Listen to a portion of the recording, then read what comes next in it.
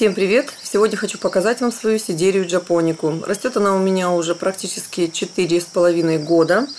И сейчас у нас происходят всякие метаморфозы. Совсем недавно я ее показывала. У нее э, выросла вот такая вот красивая детка.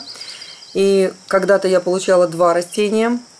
Оба они были совсем маленькие, как из фласки. Ну и вот с этим что происходит? Сейчас у нас появилось вот такое пятно точно говорит о том, что я ее переливаю. Есть пятнышко на стволике. Опять же, появились растущие корни.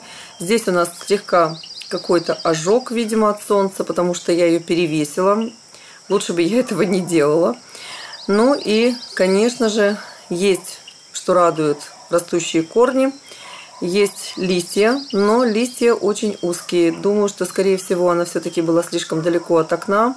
При этом у меня дома тепло, а ей все же нужны прохладные температуры. Буду играться. Хочу сейчас ее отделить, разделить, вернее, ее от детки. Ну и дать ей возможность расти в другом субстрате, в другой посадке. Вы видите сейчас блок, ее название, где я купила. По-моему, я ее купила у немца как-то было дело на eBay. Ну и вот таким образом выглядит сейчас корни. Я все удалила, всю черноту. Это ее старые корни однозначно были.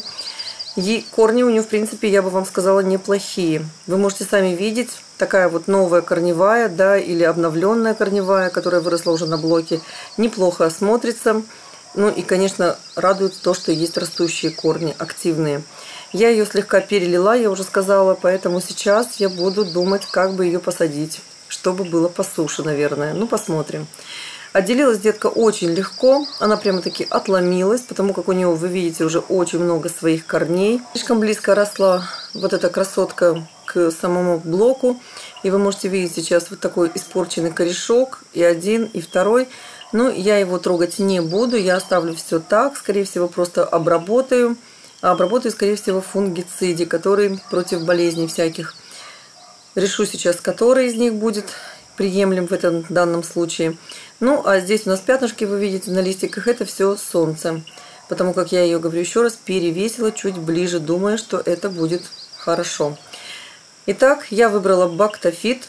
Сейчас в данном случае нам это очень нужно. И решила продержать по инструкции 15-20 минут, не более.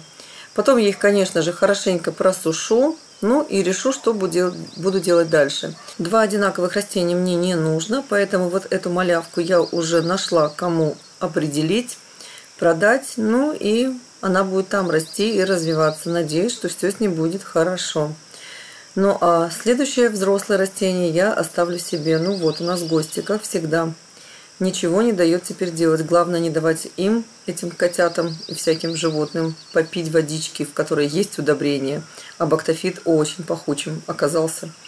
Итак, сидерия джапоника, взрослая, которая растет у меня с малютки совсем, практически из фласки была получена. Растет у меня уже более четырех с половиной лет, остается снова со мной. И, конечно же, я буду делать все от меня зависящее, чтобы она наконец-то расцвела. Я ее на зиму решила определить на другое окно, а именно на северное, для того, чтобы она там перезимовала. И посмотрим, даст ли это какой-то результат или нет. Уже будет видно по весне и следующему лету. Вот такое вот небольшое растение, хотя растет она уже давно у меня, но листики, кстати, даже и не теряла. У нее один, по-моему, или два маленьких листика таких совсем крошечных упали, а остальные пока что в порядке. Растение развивалось, в принципе, неплохо, но вот не скажу, что очень быстро. Итак, посадка. Посадка у меня все-таки здесь кора 12-18 археата, керамзит, внизу лава и сверху мох. Мох я обязательно продержала в фунгициде. Ну и частично опрыскала потом от насекомых, на всякий случай. Итак, я усадила растение поглубже, для того, чтобы те самые корни, которые были у нее, остались в глубине. Здесь вот отломленный листик, который был у нас поврежден. Я его оставила, естественно, не буду весь удалять. Есть с правой стороны тоже отрезанный лист, но там у меня была проверка на, на вирусы когда-то.